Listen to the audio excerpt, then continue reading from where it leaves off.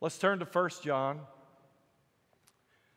Um, I'm going to need, oh, there it is. Um,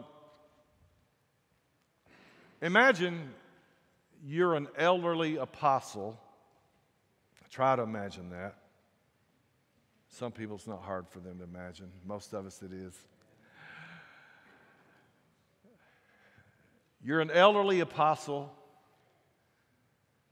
You have so many memories, you have so many stories to tell. There's so much in your head, in your heart about Jesus. You're the guy that everybody else is saying, He's the one he loves. And all the other apostles, so far as you know, they're dead. You're the only one left. You're an elder of the church where you are. And there are probably a number of small churches around that look to you for wisdom, for guidance, for strength, for encouragement. And over time, you've become aware that in some of these churches, there are people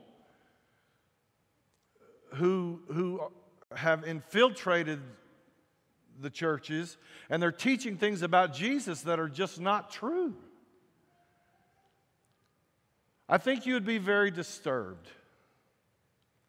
I think you'd be heartbroken. I think that you would have some worry and fear, that you would be very concerned about the souls of people. And, and especially when you're hearing that there are people in some of these churches that are listening to these false teachers and following these false teachers. And maybe even to the point that some of these churches have even broken fellowship with you and some of the other churches that have been faithful that's the backdrop of these letters, 1st, 2nd, and 3rd John. That's what's been going on. And that's why John is writing. He's writing to these churches because they need to hear from him. They need assurance. They need confirmation. They need to know that they're doing the right thing by not following these false teachers, these false apostles, these people that are teaching these things, uh, uh, really a false gospel. And so, the message that John is trying to get across to these people is that truth matters. It matters what we believe. And it matters how we live our lives. Because these people who were doing the false teaching, they were saying things about Jesus, questioning that he was a man, that he came in the flesh, questioning who he was, and questioning his purpose for being here. In fact, it had gotten to the point where they believed that they had received a supernatural knowledge, a knowledge from God that God didn't share with other people. They were the elite. They were special because God had let them in on a secret, so to speak, and nobody else knew about it. And so they were going to be the ambassadors. They were going to be the ones to tell this new story. They were going to be the ones to tell the truth about Jesus. He had not come in the flesh. So you can see why John would be so disturbed. And it seems as if their lifestyle was such, and we'll explain this momentarily their lifestyle was such that it didn't matter how you treat people. It didn't matter what Jesus said. You didn't have to obey him. You didn't have to live like Jesus. And so John is writing to them and letting them know it does matter how we live. It matters. It's important what you believe, and it's important how you live your life. You see, the person and the purpose of Jesus was being questioned. And this was probably an early seed of Gnosticism. And whether or not you've ever heard of Gnosticism doesn't matter. It probably was not full blown, it hadn't fully developed at this time, but this was the beginning of it. Gnosticism comes from the Greek word gnosis, which simply means knowledge. And like I said, they were claiming a higher, a superior knowledge. Those of us that have been studying Second Corinthians in our grow groups, remember the super apostles? You know, the Corinthians were dealing with a very similar kind of thing. They were dealing with a group of elite people who were had a, a, a knowledge that they didn't have, supposedly. And they were trying to set the Corinthians straight because they knew better. And they were very arrogant about this knowledge that they possessed. And you know, knowledge does that sometimes. We've all seen the correlation between knowledge and arrogance, knowledge and pride. Sadly, it's in a lot of churches. People think sometimes, and lots of people in lots of places are prone to think that I know better. I understand the Bible and you don't. If you don't agree with me, then you don't understand. I have a knowledge. This is from the Lord has enlightened me. The Lord has shown me. I've got the truth.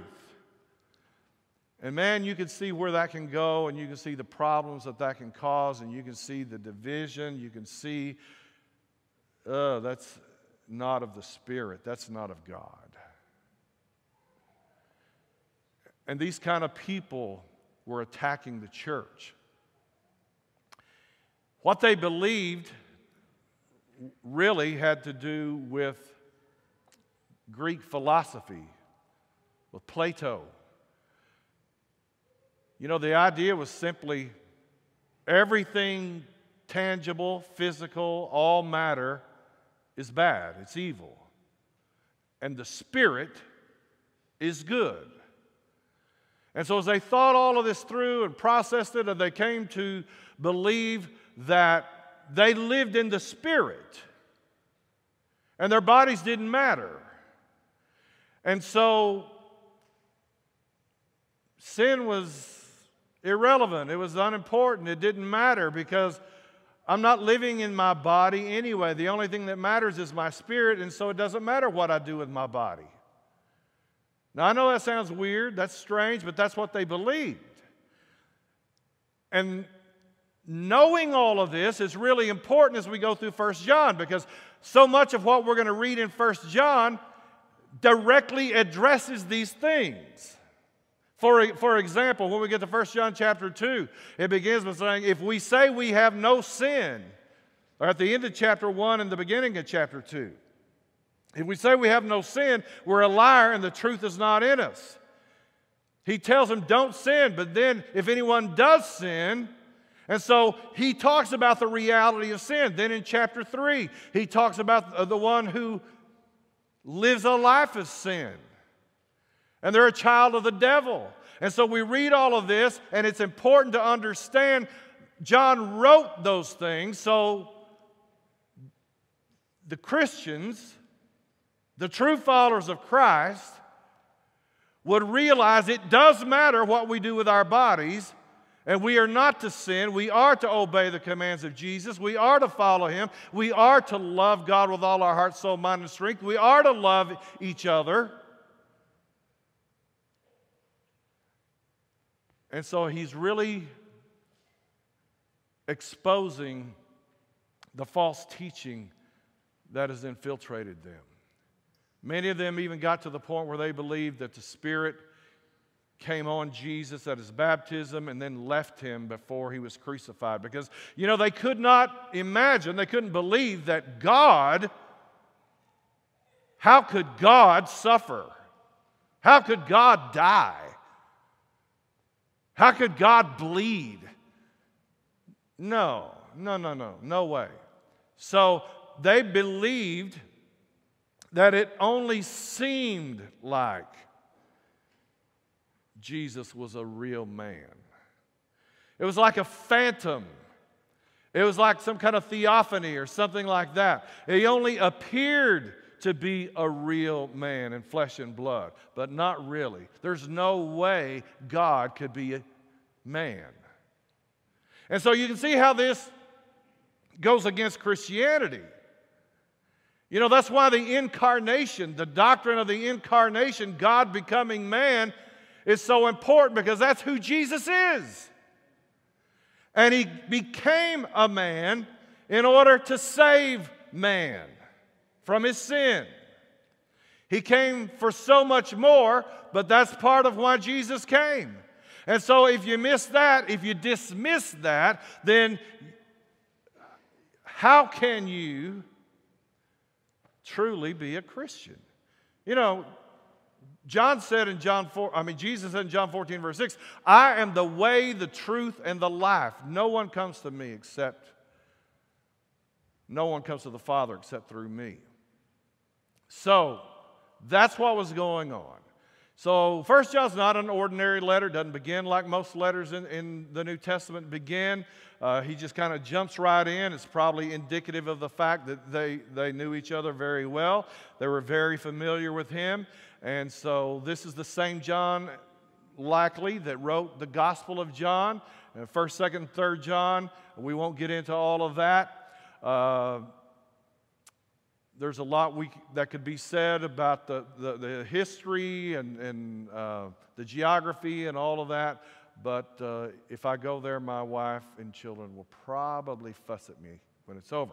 So let's go to the first four verses. That's all we're going to cover, okay? Four verses. In the beginning, God created the heavens and earth. Where is that in your Bible? Yeah, those are the first words of the Bible. You open it up. You're going to start your January reading, and you open up to Genesis 1, verse 1, and that's what you're going to find. Then, in the beginning was the Word, and the Word was with God, and the Word was God. Where's that in the Bible?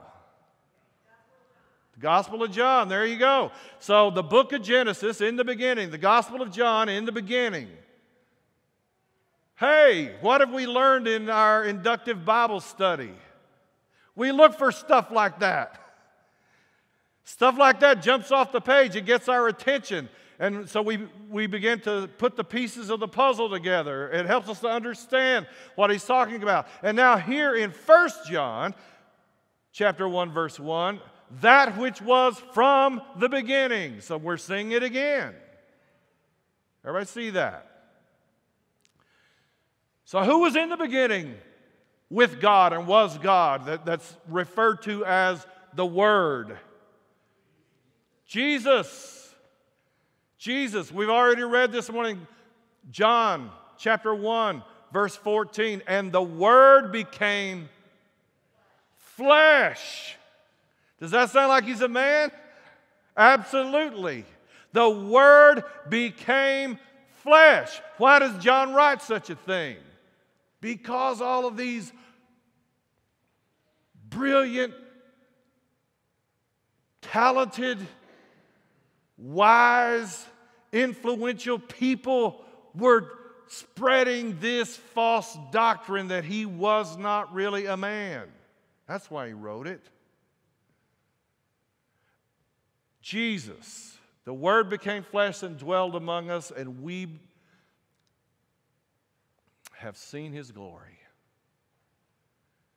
So look at the NLT.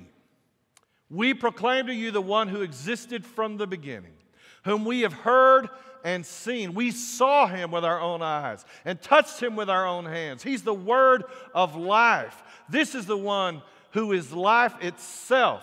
This one who is life itself was revealed to us, and we have seen him And now we testify and proclaim to you that He is the one who is eternal life. He was with the Father, and then He was revealed to us. We proclaim to you what we ourselves have actually seen and heard, so that you may have fellowship with us.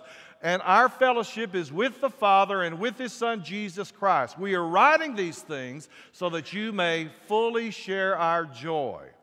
So, call on your inductive Bible study skills. Look at these four verses and tell me do you see any repetition? Any repetition here? Sure. One of the first things that jumps off the page at me is two or three times he says, What we saw, we've seen, we have seen. Why would he say all of that? He said, We heard him, we saw him, we touched him, right? So, doesn't take a Philadelphia lawyer to figure out that we're talking about some, something physical and tangible. And they're saying Jesus is not that. Oh, yes, he is. John says, I saw him. I was with him. I touched him and I heard his voice. Yes, he is a real man.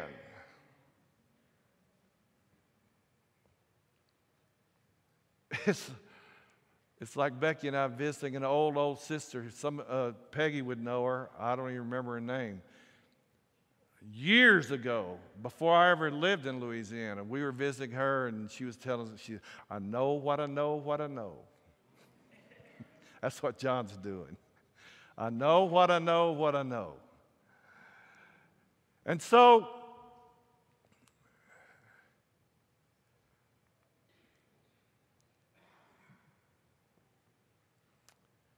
here's what you're going to see in 1 John. You're going to see four words that show up over and over and over. Okay? Truth, life,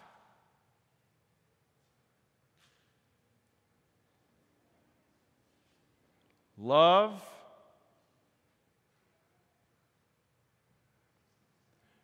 and you're going to see communion, fellowship, that kind, those kinds of words. Okay? So we're going to see this over and over and over. We're going to see a lot of other things. We're going to see things like in 1 John 1, verse 7, in 1 John 4, verse 2, in chapter 2, verse 2. We're going to read things of where Jesus is a propitiation for our sins. He's our advocate with the Father. He shed his blood for our sins. All of those things. Why are all those things in there? Because he's dealing with the fact that these false teachers are telling them, we don't sin. Sin's nothing. Sin's in the body. The body is nothing. So, since we don't have any sin, what do we need Jesus for? He, did, he didn't die for our sins because God doesn't care about our sins. It doesn't matter. We live in the Spirit, we are spiritual. So, what you find in 1 John is a lot of the gospel. You're going to see the gospel. And John says, this is something else I want you to think about in, in your inductive Bible study. A lot of contrasts life and death, love and hate, those kinds of things. You're going to see a lot of contrasts as you go through here. We're going to learn a lot about love. Chapter 4 is one of my most favorite chapters in all the Bible. We're going to get to spend a lot of time on the teaching of Jesus when it comes to loving one another. It matters how we live, it matters how we love. And I want us to stop for just a moment before I finish and just say, this Gnostic view of this separation of the spirit and the flesh has affected us probably in ways that we're not that familiar with. But yet it has affected the church. I want to read a couple of quotations uh, from N.T. Wright, who addresses a lot of this. He says, instead of saving people from earth, in other words, from earth, not people who came from earth, but instead of saving people from earth, early Christians believed God was bringing heaven and earth together, making creation new. They believed that God would then raise his people from the dead to share in and indeed to share his stewardship over this rescued and renewed creation. And they believed all this because of Jesus. Christ's resurrection was the starting point of this great work of renewal. Jesus embodied in himself the perfect fusion of heaven and earth. Does everybody see that? You see how the incarnation, you see how God becoming man, Jesus leaving the glory of heaven coming to the earth and the incarnation is a picture of what God is ultimately doing. He is bringing heaven and earth together. In the book of Revelation, you read about the New Jerusalem coming down from God out of heaven. All through the book of Exodus. We just finished the book of Exodus. How many times in our study of the book of Exodus did we talk about God wanting to dwell with his people? God coming to his people. And that's what God is doing through Jesus. From as early as the third century, some Christian teachers tried to blend this with types of the Platonic belief generating the idea of leaving earth and going to heaven, which became mainstream by the Middle Ages. But Jesus' first followers never went that route. You know, we used to hear sermons about going to heaven, people talking about going to heaven, and yet somehow or another, and this is a weird thing to me, we believed in a resurrection of the body, but in a way we really didn't. Because the idea was we would go to heaven and nobody knew what they were going to do in heaven. Well, we're going to praise God. We're going to praise God. What, what, what's that mean? We're going to praise God in heaven. In this spiritual, ethereal place, it's non physical, it's not material, nothing like that. It's not earth for sure. Uh, the earth is going to be burned up and everything in it.